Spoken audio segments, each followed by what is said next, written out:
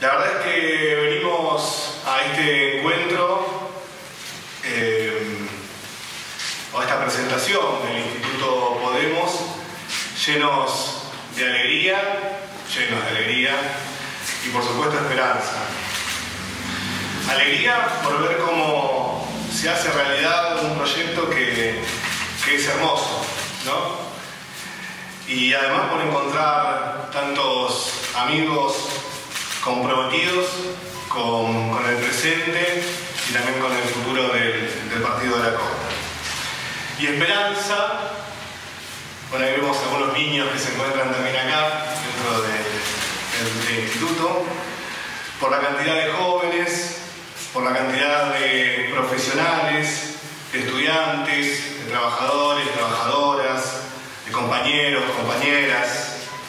de vecinos, vecinas que se hacen cargo y ponen en marcha este instituto para diseñar, como bien decía Gabriela, como bien decía Luca,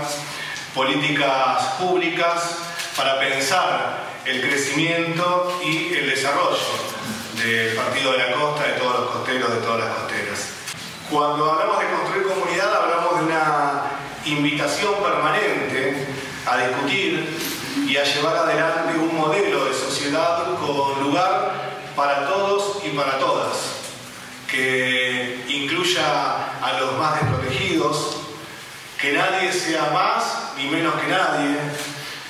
que genere oportunidades para trabajar, para progresar, que nos haga crecer como destino turístico, como destino productivo, como destino educativo, como destino cultural.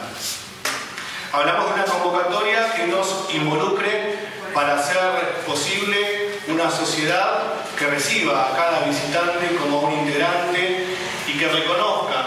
a cada integrante, empezando por quienes eligieron esta tierra para vivir, como un protagonista de la historia común.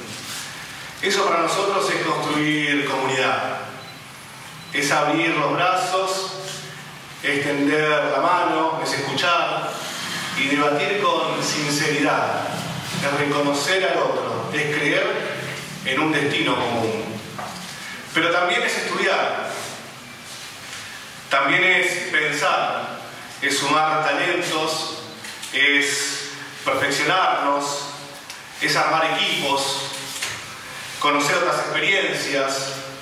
incorporar tecnologías y articular esfuerzos para diseñar las políticas públicas y las estrategias a largo plazo que hagan que este partido de la costa, como bien decía Lucas, sea el mejor lugar del mundo. Porque la verdad es que no alcanza con la buena voluntad, ni con esfuerzos individuales, ni con los mejores deseos o con, frases de sobrecitos de azúcar, ¿no? La verdad que todo es imprescindible, pero hay que involucrarse y hay que anticiparse al futuro. Y hay que gobernar el futuro